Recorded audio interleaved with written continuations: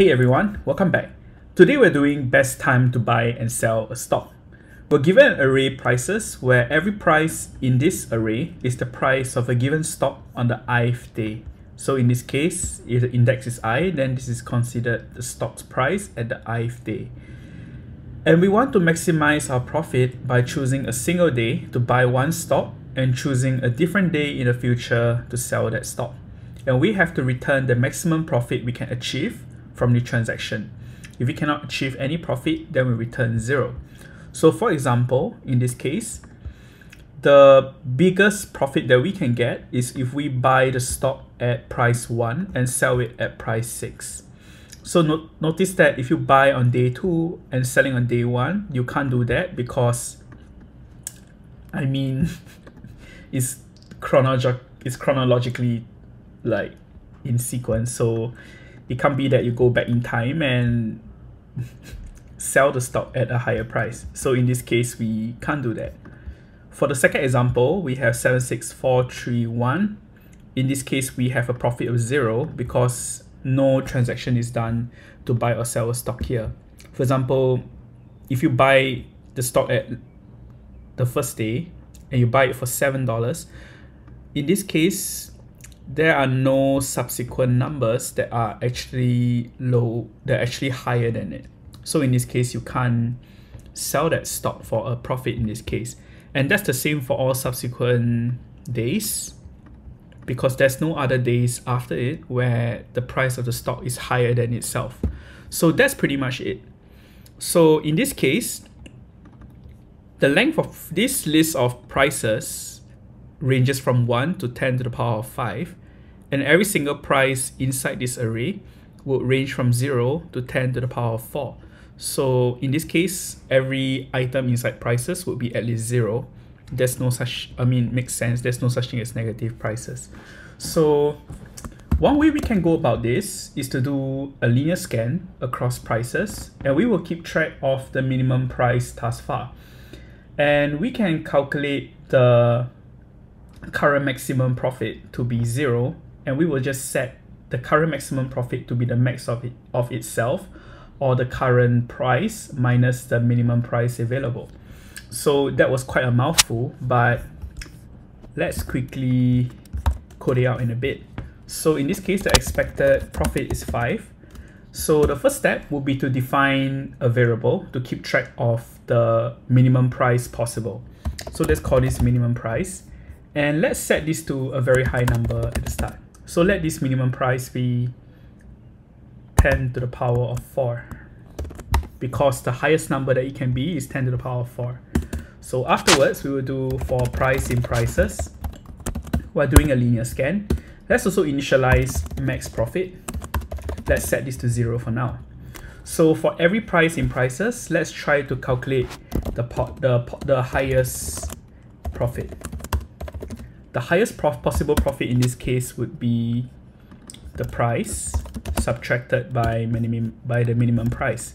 And before we do that, we will also update the minimum price to be equals to the min of price and itself.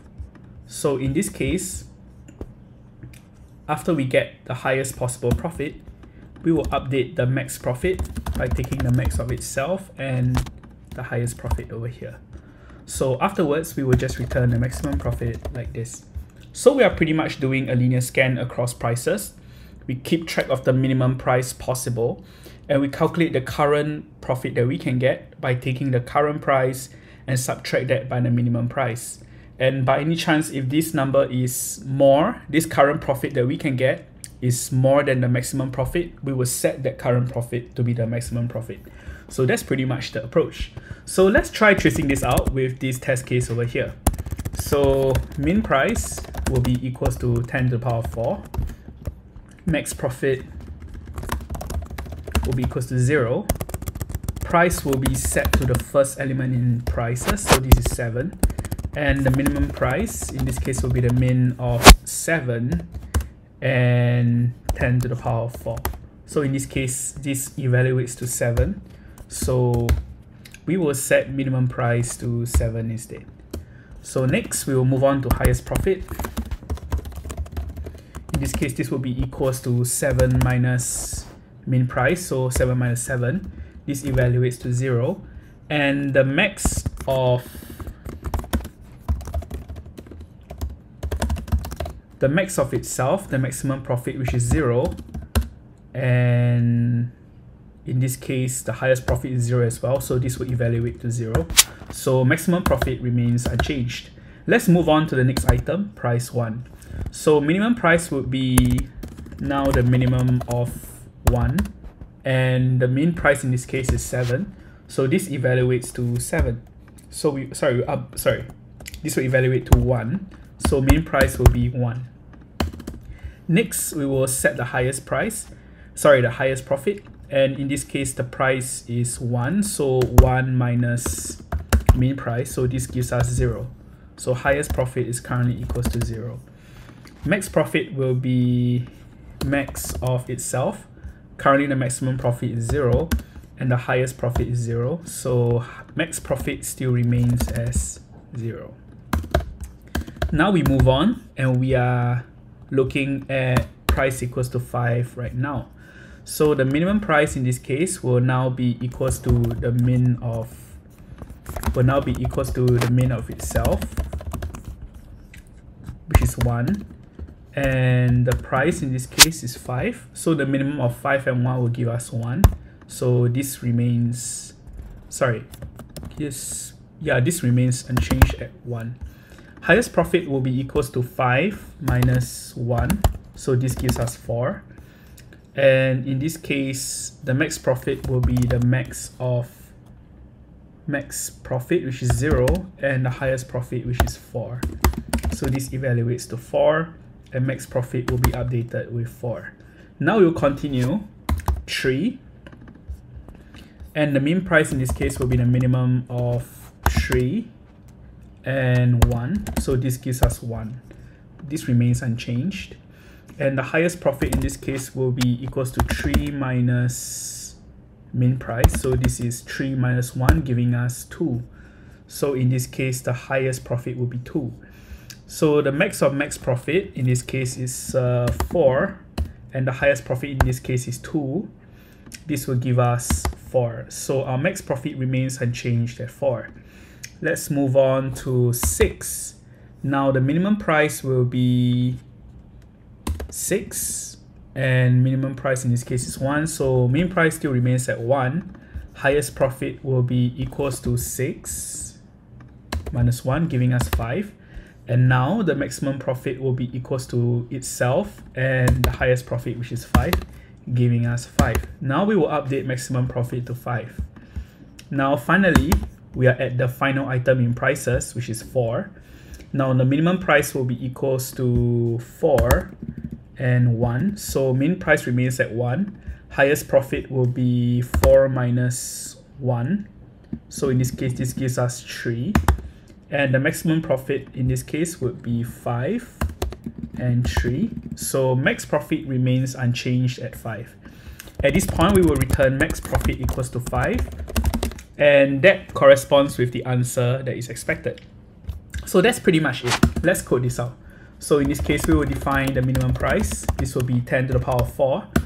And this is the current max profit that we have from buying and selling stocks. Now to get the maximum profit, we will iterate the price from left to right, doing a linear scan to update our current minimum price. So we will update our minimum price by taking the min of price and itself.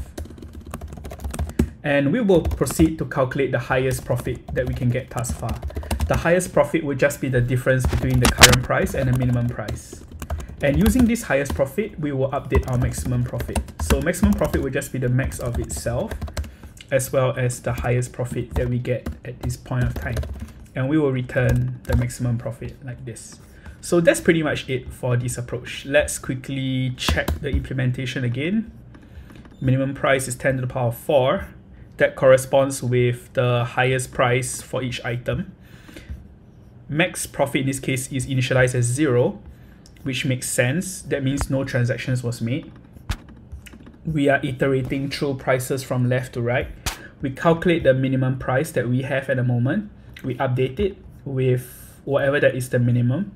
and we calculate the highest profit by taking the difference between the current price and the current minimum price. And finally, we take the max of itself or the current profit that we have at each step. And at this point, we get the maximum profit. Looks great. Let's run this against our sample test cases. This passes and let's submit this.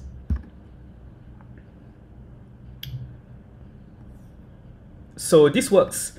In this case, the space com sorry, the time complexity is if we have n to be the length of prices, then the time complexity in this case will be on. And that's because on line 15, we are doing a linear iteration across prices from left to right. So if you increase the number of prices inside your array, then this will scale linearly as well. The runtime or computations required on line 15 to line 18 will scale linearly as well. For space complexity, as we can see, all of our variables are integers that are consistently overwritten. They use constant space regardless of the length of prices.